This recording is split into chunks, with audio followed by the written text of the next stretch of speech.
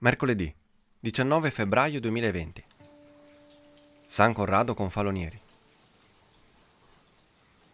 Dalla lettera di San Giacomo Apostolo.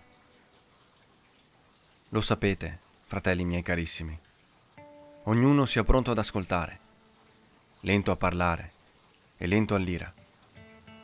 Infatti l'ira dell'uomo non compie ciò che è giusto davanti a Dio. Perciò liberatevi da ogni impurità e da ogni eccesso di malizia. Accogliete con docilità la parola che è stata piantata in voi e può portarvi alla salvezza. Siate di quelli che mettono in pratica la parola e non ascoltatori soltanto, illudendo voi stessi. Perché se uno ascolta la parola e non la mette in pratica, costui somiglia a un uomo che guarda il proprio volto, allo specchio. Appena si è guardato, se ne va e subito dimentica com'era. Chi invece fissa lo sguardo sulla legge perfetta, la legge della libertà, e le resta fedele, non come un ascoltatore smemorato, ma come uno che la mette in pratica.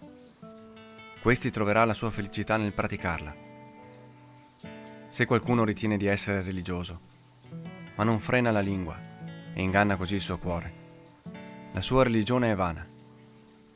Religione pura e senza macchia davanti a Dio Padre è questa visitare gli orfani e le vedove nelle sofferenze e non lasciarsi contaminare da questo mondo.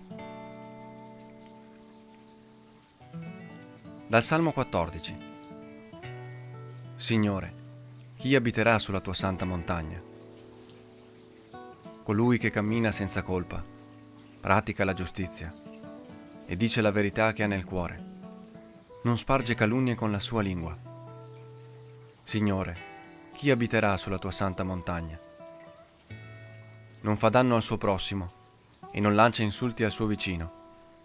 Ai suoi occhi è spregevole il malvagio, ma onora chi teme il Signore.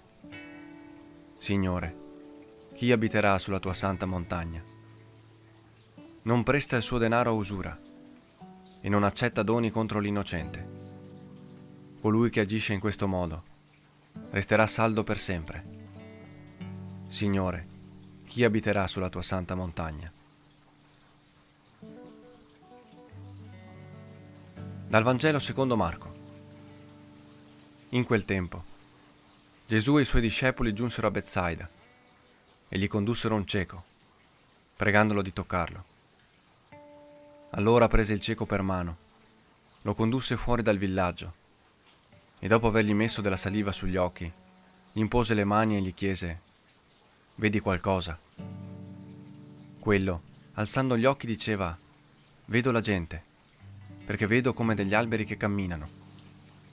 Allora gli impose di nuovo le mani sugli occhi, ed egli ci vide chiaramente. Fu guarito, e da lontano vedeva distintamente ogni cosa. E lo rimandò a casa sua dicendo, Non entrare nemmeno nel villaggio.